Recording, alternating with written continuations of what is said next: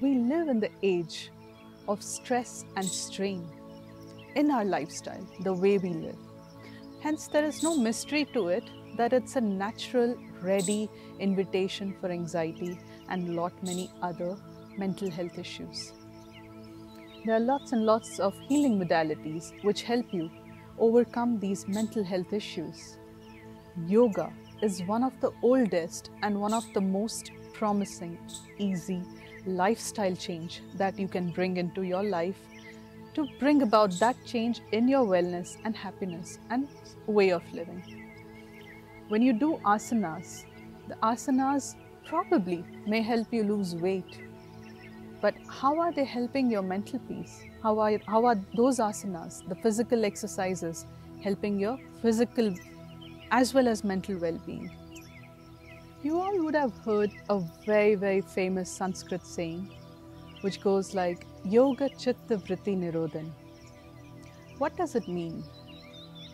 Yoga is something which helps you remove, eliminate all the distractions of your mind so that you can focus on your goal, whatever that goal may be, however high, however big, however difficult your goal may be you will see with how much ease and comfort you will be able to reach your goal and have a beautiful, happy, healthy life. Just taking few minutes off your daily schedule and including some very simple asanas and breathing techniques will bring about a huge change in your lifestyle, in your well-being and in your wellness. Your body is made up of a physical body which you perceive and also a subtle body there are nadis, like like there are nerves in your body, like there are the peripheral nerves, and there are the spinal, uh, the nerves connecting the spine and your brain. Like that, in your subtle body, which is around your physical body, there are something known as nadi. This is where the energy flows.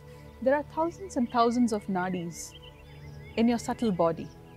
Similarly, when there's thousands of nadis, when they will be meeting at different points and different parts of your body, that's where the congestion will be. It's actually so simple. Regulate the traffic, and that's when you will reach your destination soon. Similarly, regulate the congestion in your nadis, in the junctions of your nadis, and that's where you will make sure that you're living a healthy life. Today, I will show you some very simple asanas and pranayam.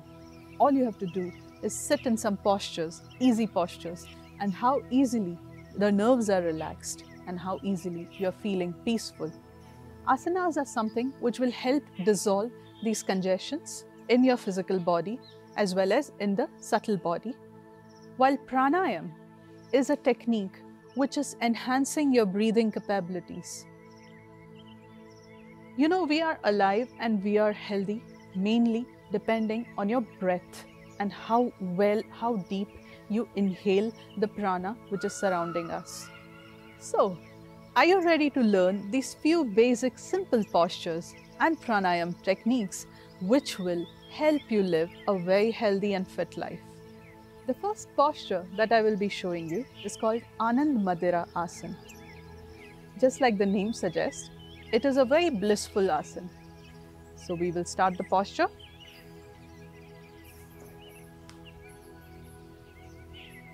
Sit comfortably in Vajrasana. Keep your back and your neck straight. Bring your hands on the side. Slowly lift up a bit. Put your palms on your feet and sit down. Close your eyes and breathe deeply you will be doing abdominal breathing. In case you're not comfortable to hold your ankle or to put your palms on your heels, you can even comfortably put them in front on your knees. This will become the basic Vajrasana. Take deep breath, breathe in and breathe out. So, how you breathe also makes a whole lot of difference. When you breathe in, that is, when you inhale, your stomach, your abdomen has to expand. And when you breathe out, that is exhale, your stomach will contract. A lot of people breathe opposite. And when you're breathing not correct, that's when all the problems start. Bring about just a subtle change like that, and you will see a whole lot of difference in your well being. Sit in a comfortable position, either with your hands on your knees or your hand on your feet, and inhale. Close your eyes, inhale. Exhale, release. You can get up and sit in a comfortable position.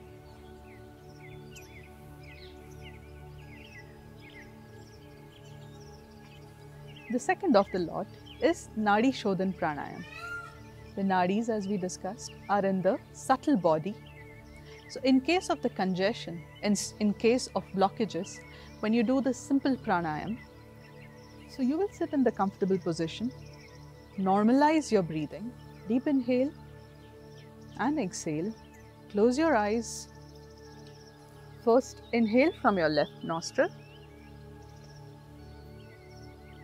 and exhale from the left nostril. Inhale from the right nostril. Exhale from the right nostril.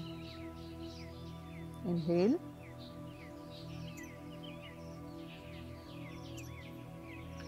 Repeat this procedure for around 15 times on the each side.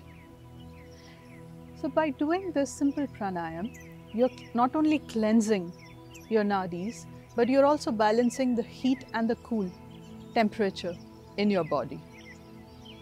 Ideal time to do Nadi Shodhan is of course in the morning, early in the morning, when your stomach is clear, when you're empty in your stomach, before you eat your meal, before you eat your breakfast. And you will see how energetic, how amazing your day goes just by bringing about this balance. We will move on to the third asana, which is one of my favorite. It actually just takes one or two minutes to do this asana. It is called as Bhramari. Bhramari is a bee. The sound that this pranayam makes is like that the buzz of a bee.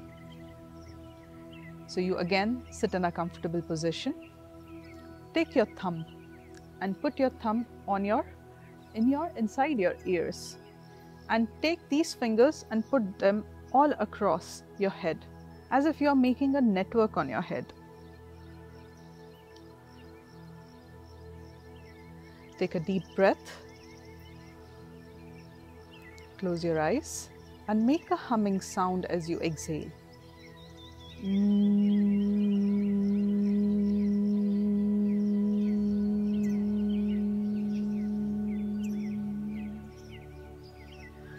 Once again, take a deep breath. You can do this up to 8 to 10 counts. And with each count, try to expand your breath Try to expand your exhale and hence the humming sound. Just by the vibration of the humming sound, you will see all your nerves calming down. Continue practicing these three at minimum, these three simple techniques, and you will see a whole lot of difference in your life. Add these two asanas in your daily life, and you will see the change. These are the asanas which you can even do while you're sitting in the office, just take two minutes off, walk around a little, find your personal little spot, and do these two asanas. So, stand straight in your positions, feet next to each other, back straight, neck straight. I will first show you the two postures.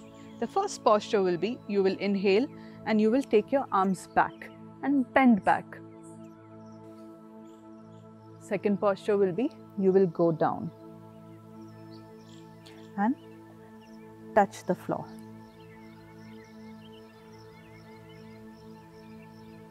Inhale and exhale. Release. Remember to keep your back straight and to bend from your lower waist when you're bending down slower you will perform these asanas, you will see the better results. We will move on to the next asana. stand with your feet next to each other, your back straight, neck straight, hands relaxed. Raise up your arms on the side with your palms facing in the front. Inhale and take your hands back, as back as you can, expanding your chest. Exhale and bring your palms in front, touching each other. Inhale and exhale.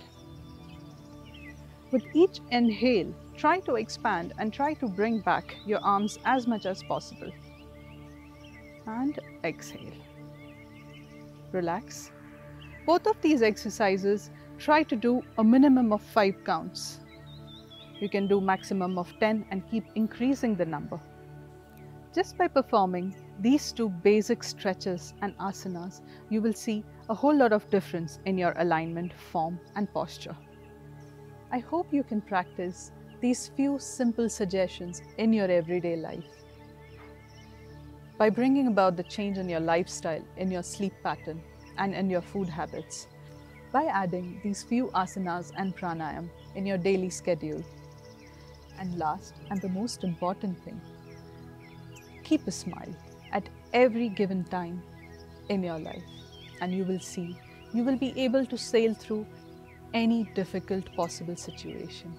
Keep smiling, stay happy. Namaskar.